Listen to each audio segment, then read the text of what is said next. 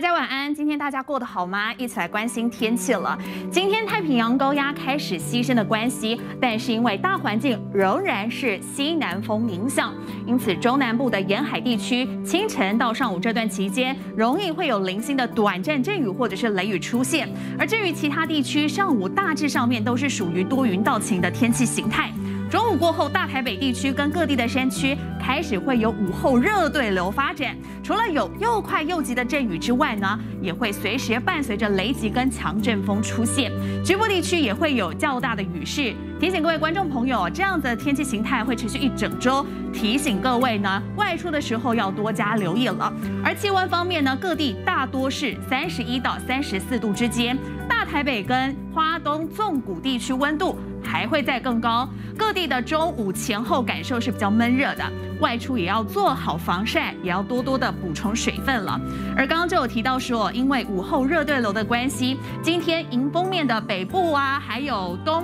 半部地区会有一些些的雨势，中部的山区跟南部地区呢也会有下雨的情况，而且呢雨呢是会比较大的。不过可以看到这波雨到了晚上之后呢，雨势会逐渐的趋缓。明天全台各地基本上都是高温晴朗的好天气，只不过呢，其实呢也可以看到，呃，午后跟今天一样，北部、东部呢、中南部的山区还是会有一些降雨，不过雨区的范围跟今天比起来是会比较小的。出门在外还是提醒你要随时携带雨具了。而近日因为太平洋高压接手的关系，台湾的天气是逐渐是到了一个回稳的状态。不过，根据了中央气象局的资讯显示，目前在西太平洋上有一个热带性的低压来发展，路径是持续的向西移动。只是热带低压 TD 十四目前是来到了关岛附近的海面，而且持续发展当中。下午的中心位置在北纬十三度，而且东经一百五十五点五度，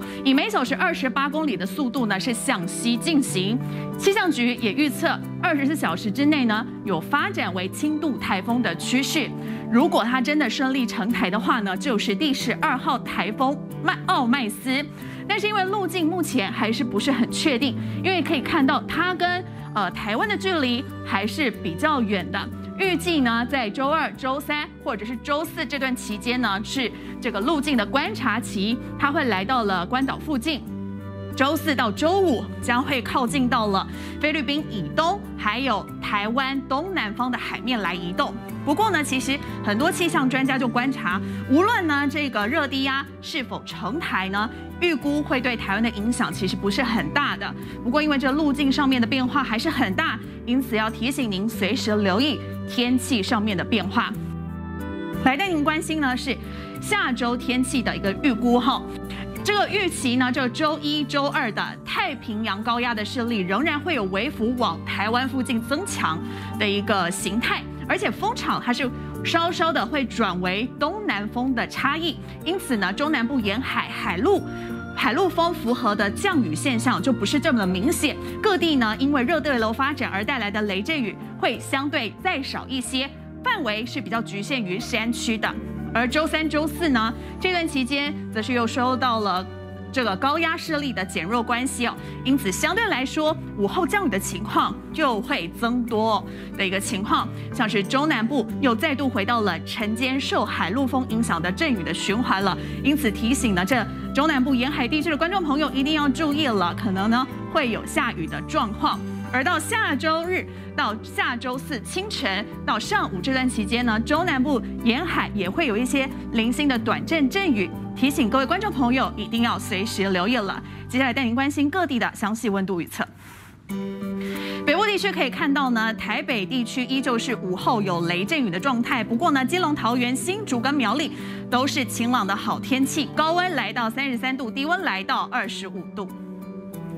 中部地区南投的观众朋友一定要注意了，有百分之三十的降雨几率，高温是来到三十三度，低温是来到二十五度。南部地区呢，屏东地区的观众朋友要注意，有百分之四十的降雨几率，而台南跟高雄呢都是阳光普照的好天气，高温是来到三十四度，低温是来到二十五度。部地区呢，宜兰的观众朋友要记得携带雨具了。高温是来到三十二度，低温是来到二十六度。外岛地区呢天气非常的好，一定要随时的注意防晒，而且呢要补充水分了。高温是来到三十二度，低温是来到二十六度。最后的气象小叮咛要提醒各位观众朋友，受到了西南风的影响，中南部局部大雨，而且午后山区、大台北会有大雷雨，提醒各位观众朋友出门要带把伞，以免淋成落汤鸡。我是何之玉，广告回来，请您持续锁定中视新闻。